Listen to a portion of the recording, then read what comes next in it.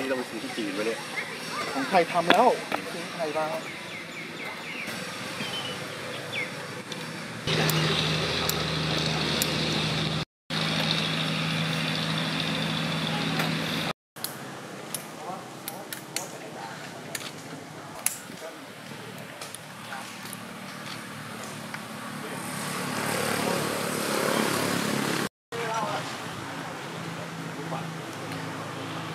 going to do basically what we tried to do yesterday. So we're going to do an owl case.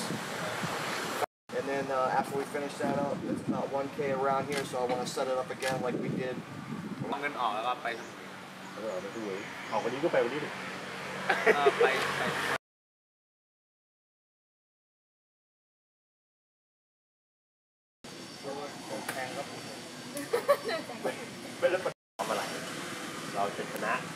เนในประเทศได้อย่างไรเมื่อกี้ขอเราเมื่อกี้ดูไอ้คนขวานี่คิดเยอะนะ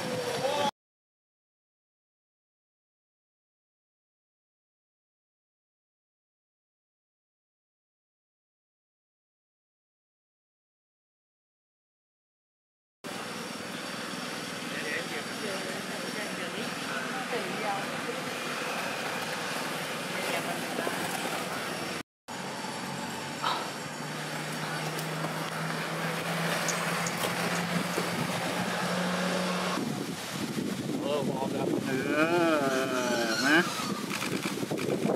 เกือบแล้ว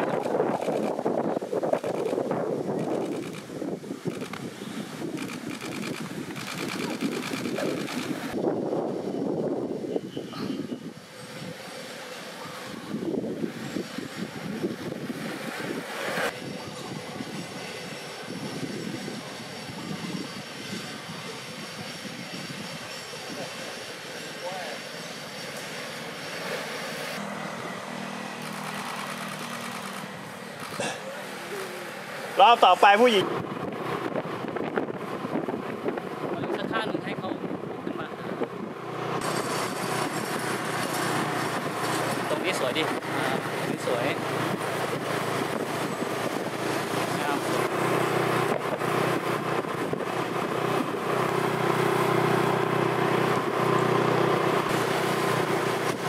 ใส่รอบไปนะใส่รอบไปนะ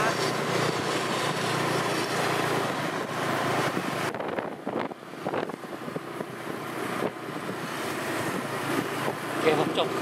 ผมจบตรงนี้แล้ว โอเค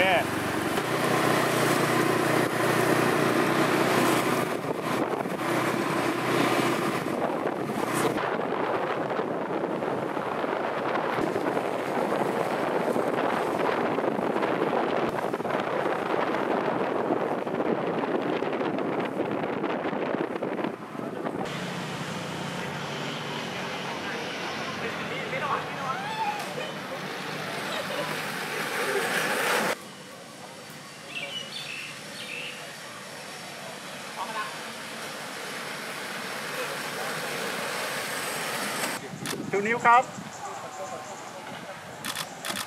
ดีครับโอเคครับอะโบกมือให้กล้องที่ภาพนิ่งเลยน้องนี้ครับ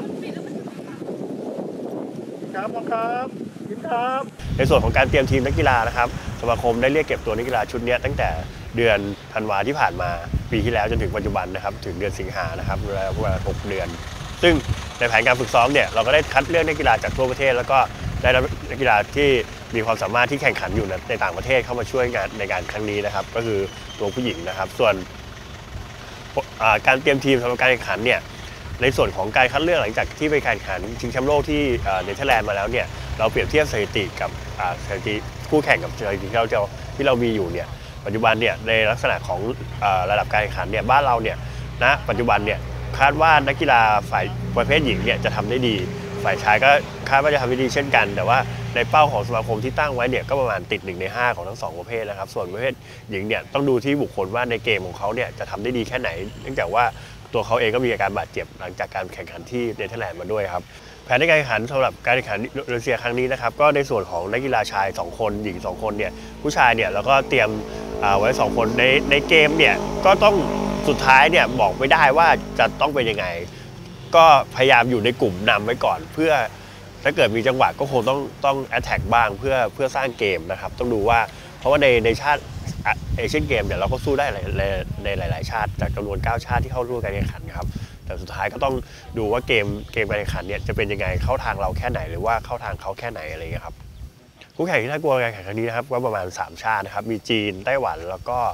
เกาหลีนะครับสามชาติส่วนอินโดนีเซียกับไทยเนี่ยก็เราสู้กันตั้งแต่ซีเกมส์มาอยู่แล้วก็น่าจะสู้กันได้ แล้วก็ส่วนประเทศอื่นเนี่ยเราเท่าที่เจอใน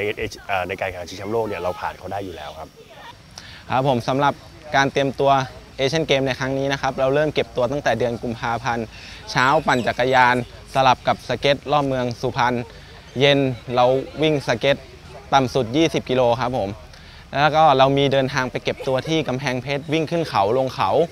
วันละประมาณ 100 โลสำหรับสำหรับความคาดหวังในครั้งนี้นะครับ ติด 1 ใน 5 ครับผม ส่วนประเทศที่น่ากลัวมีจีน ไต้หวันเกาหลีครับผมสำหรับการเตรียมตัวไปแข่งขันเอเชียนเกมครั้งนี้ เราก็เก็บตัวกันมาตั้งแต่ 25 กุมภาค่ะ ส่วนใหญ่ช่วงเช้าก็จะเป็นปั่นจักรยาน ถ้าเป็นเมื่อก่อนนะคะ ถ้าเป็นช่วงนี้ก็เน้นสเก็ตทั้งเช้าทั้งบ่ายค่ะ แล้วก็มีไปเก็บตัววิ่งขึ้นเขาที่กำแพงเพชรค่ะ บางวันก็เกือบร้อยโลบางวันก็ร้อยกว่าโลค่ะ รายการที่ไปแข่งขันในเอเชียนเกมครั้งนี้คือ 20 กิโลค่ะ คู่แข่งที่น่ากลัวมีจีนเกาหลีไต้หวันค่ะ แล้วก็เป้าหมายคือจะทำให้ดีที่สุด แล้วก็พยายามติดหนึ่งในห้าค่ะ